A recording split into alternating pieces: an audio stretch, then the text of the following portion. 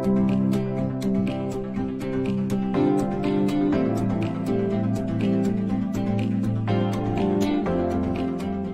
to this session on AWS IoT events.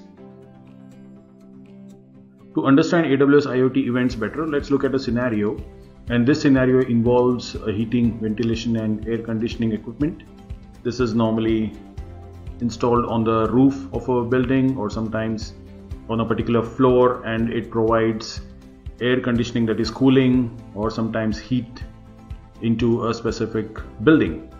And what we want to do is that we not only want to make sure that this equipment keeps running for a longer period of time, but we also want to make sure that it is being utilized properly. For example, we want the cooling to be available only in a room where there are actually people in there, or if the number of people in a specific room increases, we want to make sure that the cooling is maintained at a specific temperature. All of these are basically events so we want to be able to switch on the cooling, for example, in a room when someone enters the room. Another scenario is that we want to make sure that the temperature of a specific area, for example, a large hall or the entrance of the office is at a specific level. And for that, we want to make sure that the temperature is getting detected and stored. Another feature that we want to look at is auto adjustment of the cooling. We definitely don't want the equipment to be switched on and off manually, specifically in larger areas or in places like a mall. But we want to make sure that based on the number of people who are coming in or the occupancy of the area, the cooling is auto adjusted. And we want to be able to report or get all of these sensor readings in one place for processing. So, what exactly is AWS IoT events?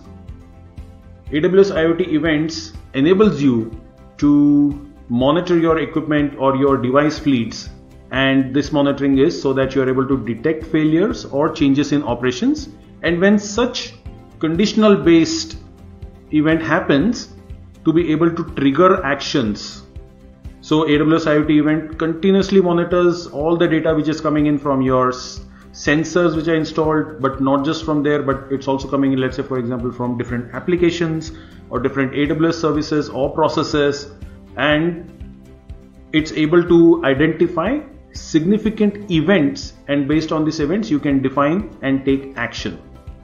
So you can use AWS IoT events to build complex event monitoring applications in the AWS cloud and you can access these AWS IoT events either through the console or through the API. What are some of the benefits and features that it offers? So you have one single place where you can have data coming in from multiple sources. For example, on AWS IoT Core, the data is mostly coming in from sensors, but you might have some data which is coming in from an ML engine, or you might have data which is coming in from a different application. All of those data can be ingested from multiple sources and they can be used together to detect the state of your processes or devices. Based on that, you can proactively manage your maintenance schedules. Uh, for example, you might have sensors which are reading the temperature, but you might have sensors which are reading the vibration of the devices that you are monitoring. So these become different kinds of sensors, and you should be able to segregate this data and take action based on the different sensors or different events that happen. It's very, very simple to build these custom rules and events so you can use simple if then else statements and accordingly build those rules and event logic. And you can combine the sensor data, you can combine the application data, you can get all of that on the console so that you're able to visualize the performance and quality of your operations. You can even detect complex patterns. For example, if the vibration sensor is increasing but you can see that the temperature is not increasing i mean what's happening here why did this happen so you're able to recognize these complex patterns and accordingly you can define let's say that the vibration sensor goes above let's say x value but the temperature is consistent what should be the action that should be taken should it be that we ask the hvac equipment to run at a lower efficiency or do we want it to keep on pumping at the same level. So these kind of complex patterns and complex actions can be triggered. You can meet your fleet demands by defining detectors for specific device types and these can automatically scale and manage all instances of the device. A typical example here could be that uh, you have those containers, huge containers which are used to ship your equipment from one location to another by sea. You can write the rules for specific devices. You can install those devices on the containers as and when a new container is added to your fleet. All you need to do is just put up those devices over there. The logic gets copied over and accordingly you can scale to thousands and then millions of containers out there. How does it all work? You have these inputs and all of these inputs as we mentioned can be coming in from sensors they can even be coming in from other aws services or they can be coming in from applications all of these are inputs are coming in and then they are defined and processed upon and acted upon in aws iot events.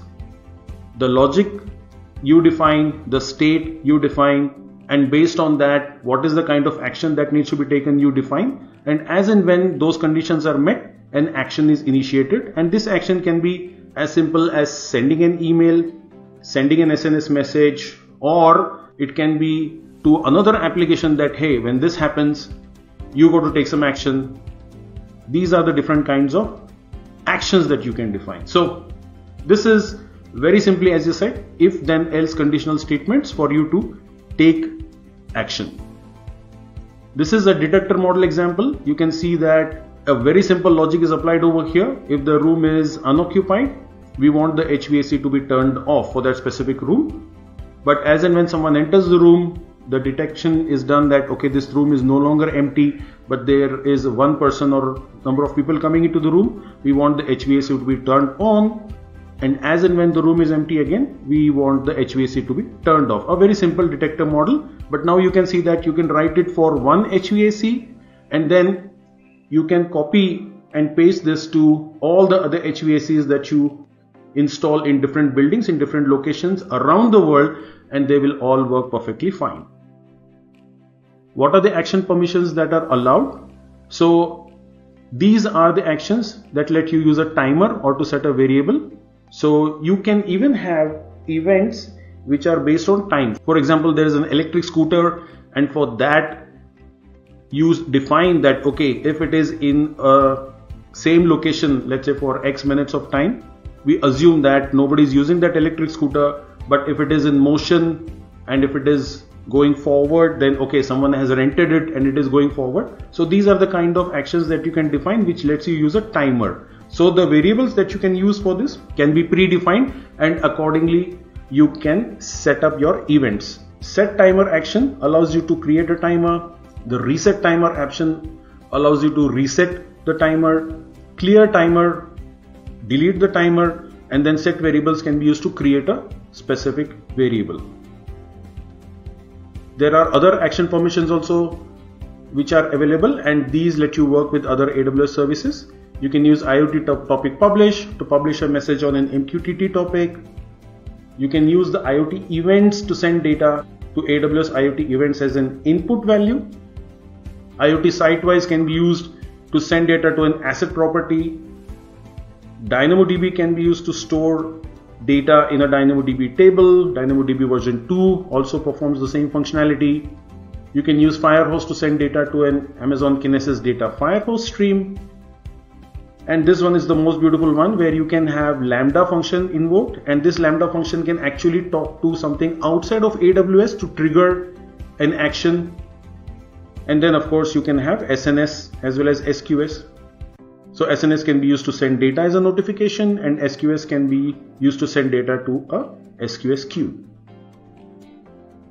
What are the different use cases? Of course you can aggregate telemetry data across systems. As we mentioned earlier it's not just sensor data but it can be application data it can be analytics data. All of these can be aggregated in one place.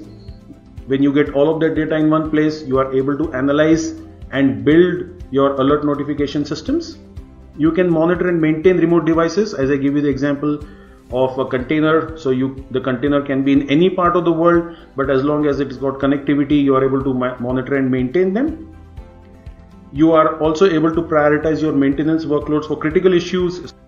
For example, your HVAC may be having too many vibrations, which indicates that there might be a part failure and that part needs to be replaced before the HVAC goes into a bad state. You can prioritize accordingly.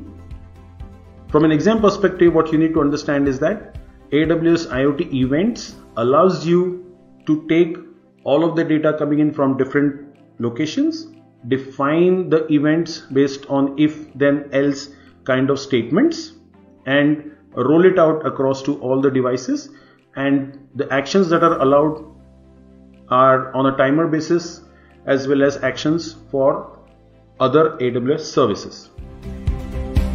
For more details check the link in the description. Learn with Whizlabs. Success certified.